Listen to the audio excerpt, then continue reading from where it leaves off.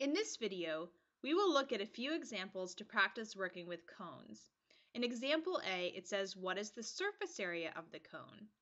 So you should remember that to find the surface area of a cone, you figure out the area of the circle, pi r squared, plus the area of this sort of lateral surface, which is actually a sector of a different circle, which has an area of pi r L.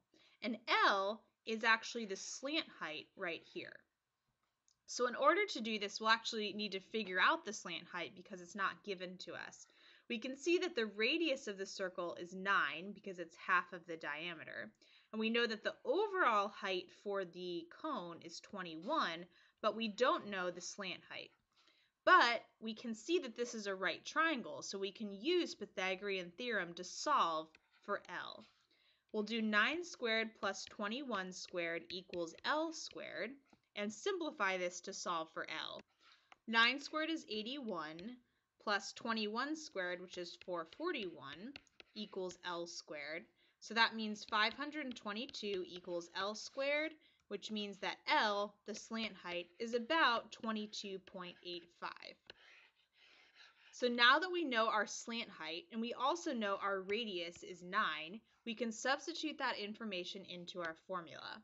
The surface area is pi times the radius, 9 squared, plus pi times the radius times L, the slant height. And now we just need to simplify this. In order to do that, don't worry about the pi for a moment. Just simplify 9 squared to get 81, and then you have 81 pi, so put the pi in, and then do 9 times 22.5, or 22.85, to get 205.65, and then have pi at the end. Then combine those two together, and you get your total surface area is 286.65 pi units squared, since we're talking about a surface area. Notice I left my answer in terms of pi. You could substitute in 3.1415, an approximation for pi if you prefer. In example B, it says the surface area of a cone is 36 pi and the slant height is 5 units. What is the radius? So let's remember that our formula for the surface area for a cone is pi r squared plus pi r L, where r is the radius and L is the slant height.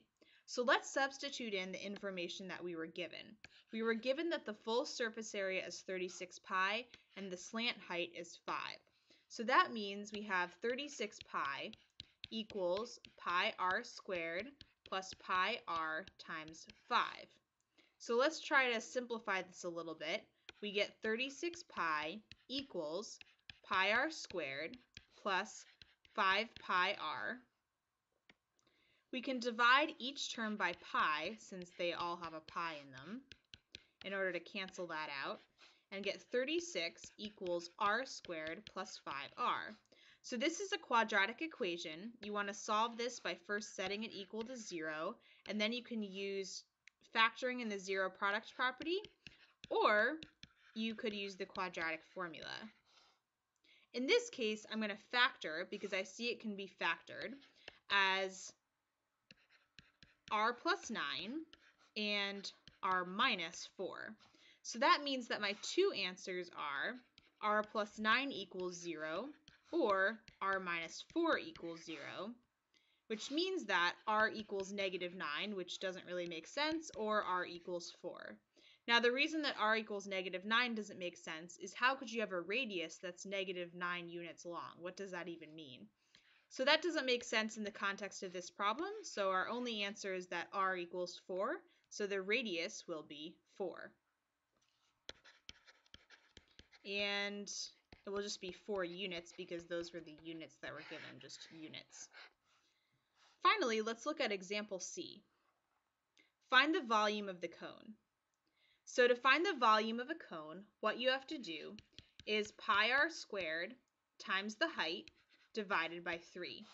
In this case, we're given that the radius is 5, so that's our r, and we're given the slant height, L, equals 15.